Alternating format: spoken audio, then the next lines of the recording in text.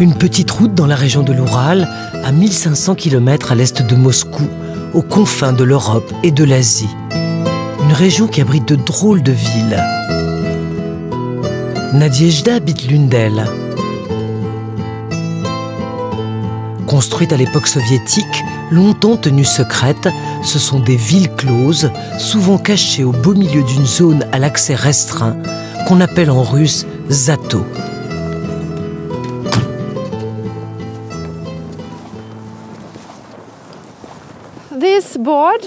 Ce panneau marque l'entrée de la ville close. Vous ne pouvez pas aller plus loin. Moi, je peux parce que j'ai un permis spécial. Vous n'en avez pas, vous n'entrez pas. Mais qu'est-ce qu'il protège? Il y a un site nucléaire là-bas. Peut-être qu'il protège encore des secrets d'État il y a un système spécial de checkpoint avec des soldats qui contrôlent tous les gens qui veulent entrer dans la ville close. Mais tu ne pourras pas voir parce que c'est un secret d'État. La mystérieuse ville interdite nommée Oziersk est encore à 15 km de là. Oh, Peut-être que le FSB est là. Le FSB nous cherche. La voiture là. Je pense que le FSB est là. Le FSB, c'est l'ex-KGB, les services de sécurité russes. Effectivement, il a fallu éteindre la caméra et subir un contrôle en règle. Impossible d'obtenir une autorisation de filmer dans l'une des 42 villes closes russes. Nadiejda a donc proposé de nous présenter des témoins et de nous servir de guide dans cette étrange région. À gauche, Oziersk, la ville de Nadiejda, tout droit Novogorny, annexé depuis 2005 à la Zato, avec d'autres villages. Bientôt, on n'y entrera qu'avec un laissez-passer et sans caméra. C'est Lénine. Il indique Oziersk. C'est évident qu'à l'époque soviétique, quand partout les gens avaient faim et souffraient de pénurie, c'était mieux de vivre dans les villes fermées. Parce qu'on y trouvait des vêtements, des produits, tout ce qu'il n'y avait pas dans les territoires ouverts. Ma grand-mère était ingénieure chimiste. Elle est arrivée ici en 1948. Elle a travaillé dans l'usine, elle a fait le premier plutonium avec Kurchatov pour la bombe atomique soviétique.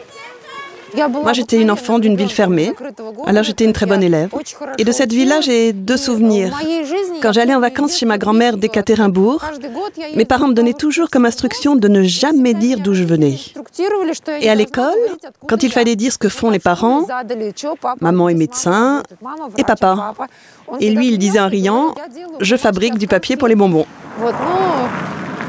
Pour apercevoir la fameuse ville interdite où travaillait le papa de Nadiejda, il a fallu monter au sommet de la plus haute église de Kishtim, la ville la plus proche de Ziersk. On la devine au-delà de la forêt, posée au bord du lac, auréolée d'un mystère hérité de l'ère soviétique. Et puis la voici sur des archives de la télévision locale à l'époque de la perestroïka. Les hautes grilles et le checkpoint n'ont pas changé, paraît-il. Comme toutes les villes closes, elles portaient alors simplement un nom de boîte postale. Челябинск, 65. Город на Южном Урале. Город, которого нет ни на одной географической карте. А между тем живет здесь почти 100 тысяч человек. Une superbe ville mêlant l'ancien et le moderne, depuis les premières maisons construites dans les années 50 jusqu'aux immeubles érigés au bord des lacs à la fin des années 80. Oziersk abrite des instituts de recherche nucléaire où ont travaillé d'éminents scientifiques, tels Igor Kurchatov, le père de la bombe atomique russe. Or, on ne voit pas Oziersk alias Tchelabinsk 65, sur cette carte de 1988, alors que c'est déjà une ville importante. Aucune des villes closes ne figurait sur les cartes, certaines étaient pourtant immenses. Ainsi, Ekaterinbourg, la capitale de l'Oural, quatrième ville de Russie, était aussi une ville close jusqu'en 1991. Connue pour son industrie lourde, elle est au cœur des secrets d'État depuis la Deuxième Guerre mondiale. À l'époque, Face à l'avancée de l'armée allemande, Staline fait déménager toute l'industrie militaire et son lot de chercheurs et d'ingénieurs de la région de Moscou vers l'Oural. Et là, il fait bâtir des villes-usines pour la production d'armements. Physicienne nucléaire résidant à Oziersk, Natalia est née dans cette époque trouble. Militante, elle aussi, elle collabore avec l'ONG Mémorial sur l'histoire des victimes du stalinisme. Voilà une carte de Russie, avec les camps de l'époque soviétique et la localisation de tous ces camps, qu'on appelle goulag. Et dans l'Oural, à l'époque, il y en avait beaucoup. Alors ils ont pris les prisonniers pour construire la ville d'Oziarsk et son complexe nucléaire Mayak. Et ils l'ont construite comme un goulag, avec des barbelés électrifiés, des chiens et des militaires qui surveillent.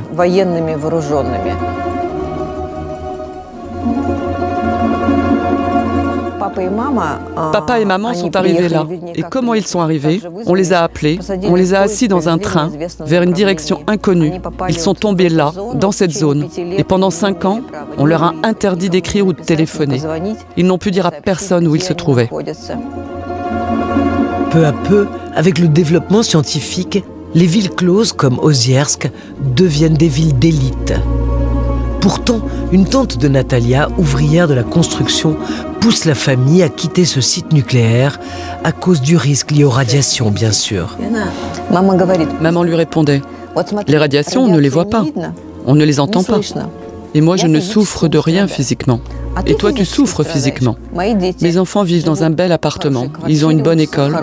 Et toi, tu n'as rien de tout ça pour tes enfants. La famille a pourtant été affectée et Natalia, qui a fait carrière sur le site nucléaire de Mayak, a elle-même subi une ablation de la thyroïde. Le système perdure. Si la plupart des grandes zones interdites ont été ouvertes dans les années 90, 2 millions de Russes résident encore dans des villes closes où les libertés et la santé s'échangent contre l'espoir d'une vie meilleure. Ainsi Oziersk, qui fait partie des dix villes nucléaires encore fermées et administrées par Rosatom, l'agence de l'énergie atomique. Nadjejda nous a rapporté des images qu'un amateur y a filmées pour nous la veille. Tout ce qui a été construit dans les années 50 est toujours là.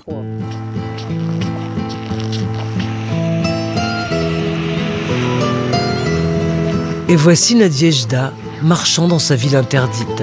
Une ville aux allures paisibles où rien ne laisse deviner l'enfermement, le secret ou la radioactivité. Il s'avère que nous vivons au milieu d'un site sensible et nous comprenons les risques. Si notre gouvernement considère qu'il faut encore maintenir la ville fermée pour des questions de sécurité, soit. Mais cela ne peut signifier que nous devons nous sentir des citoyens inférieurs. Parce que nous avons les mêmes droits que tout le monde.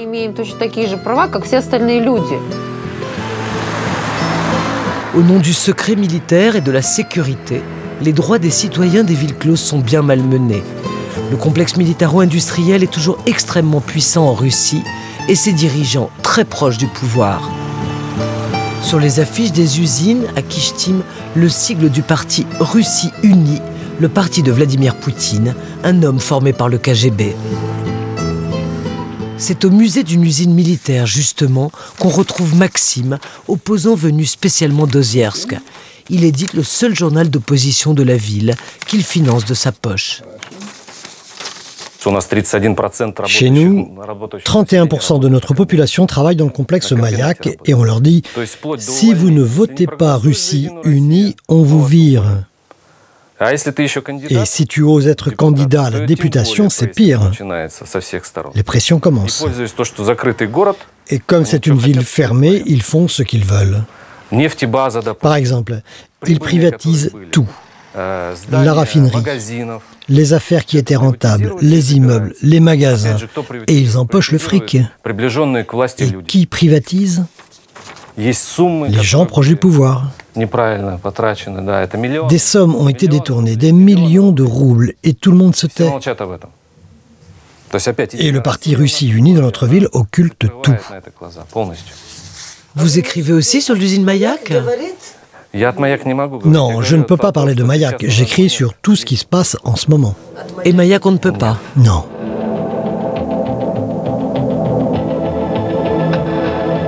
Tout proche de Oziersk, Mayak, le site nucléaire ultra secret. Un complexe entouré de lacs dont l'eau sert aux installations atomiques.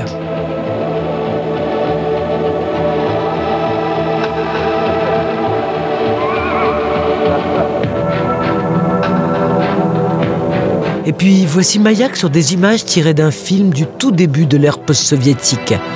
Le site a été créé par le sinistre Beria parce que son chef Staline, après les tragédies d'Hiroshima et Nagasaki, voulait une bombe atomique russe.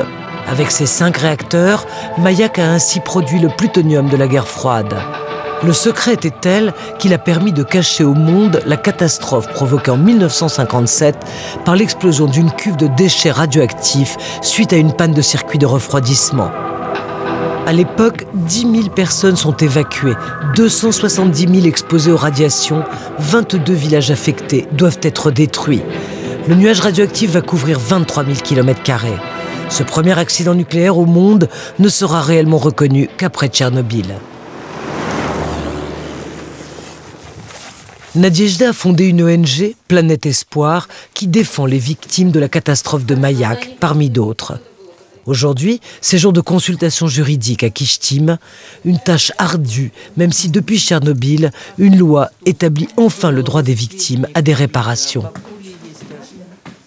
Le procès va être long. Ça fait six mois qu'on est dessus et on en a au moins pour un an encore. Alors écrivez. Requête. Au commissariat militaire de la ville de Kishtim. Au commissariat militaire de la ville de Kishtim. Nous n'avons pas reçu de réponse de votre part en ce qui concerne, en ce qui concerne mon père. Père.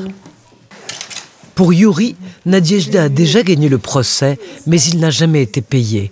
Il vivait dans un village rasé après la catastrophe et a dû travailler à la décontamination du site en tant que liquidateur. Il a été irradié. Comment oublier? Je me souviens, j'avais 15 ans alors. Je sais qu'ils nous ont juste interdit d'utiliser l'eau. Ils ont interdit de se baigner dans la rivière. 50 ans que j'attends de l'aide. Et rien. Karabolka, un village où habitaient 4500 Tatars avant le passage du nuage radioactif. Un village fantôme, un catalogue de tragédies. Leucémie, cancer, affection cardiovasculaire, la plupart des habitants sont morts des suites de l'explosion, alors que le village voisin, habité par des Russes, avait été évacué. Sa maman est morte. Sa maman. Gulchara souffre de nombreuses affections. Elle avait 10 ans à l'époque, elle alternait le travail au champ et l'école.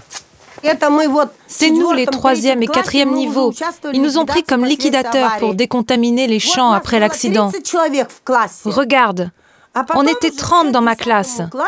Et ensuite, six ans plus tard, regarde ce qu'il reste des 60 enfants de deux classes entières. Il en manque la moitié. Ils sont tous morts. Pour payer ces médicaments, Gulchara, irradiée dès l'enfance, travaille aujourd'hui à Oziersk, la ville d'où le nuage mortel est parti. Et où tu veux que j'aille? Les radiations, je les ai dans le ventre. Que je vive là ou là, ça ne change rien, elles restent dans moi. On est tous tombés malades et ensuite, ils sont morts, morts et morts. Regarde mon père. Il a eu un cancer du foie. Voilà ma mère. Elle est aussi morte d'un cancer du foie. Souvent malades, les enfants et petits-enfants